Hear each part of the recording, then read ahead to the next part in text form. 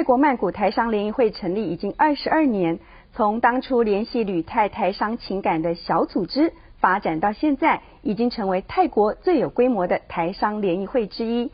在庆祝二十二周年当天，也进行了会长交接。现任会长马律敏将重任交给了新任会长林根源。乡亲们争相与泰国曼谷台商联谊会新就任会长马玉敏和林根源合影。成立二十二周年的泰国曼谷台商联谊会举行庆祝大会暨第二十一、二十二届会长交接。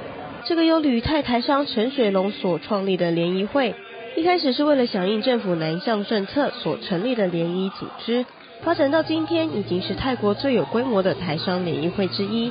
每年举办的爱心公益和旅游活动，都吸引大批乡亲共襄盛举。在驻泰代表谢武桥监教下，马玉敏将印信交给了新任会长林根源。林根源是泰国台商总会副总会长，也曾在泰国台商社团担任过多项要职，未来将继续发挥所长，为侨界服务。那非常感谢我们啊曼联谊会前辈的好辛苦经营，那我们的会务的话，在每届的会场的任内的话，蒸蒸日上，那我们会珍惜传统。继续的来努力，那也非常感谢一万年的工作团队的付出，因为有你们，会长才伟大，谢谢。那也感谢我的家人的支持，妈妈，谢谢你。侨委会委员长吴欣欣特别贺电祝福新就任会长，并由驻泰代表处侨务组长卢金海代为宣读。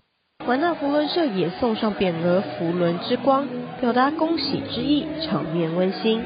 大家一起切下生日蛋糕，祝福曼谷台商联谊会生日快乐。当晚娱庆节目也相当精彩，包括了摸彩活动以及妇女谷的采茶舞蹈，让活动更显热闹。乡亲们尽情联谊交流，全场并一起唱中华民国颂，为活动画下圆满句点。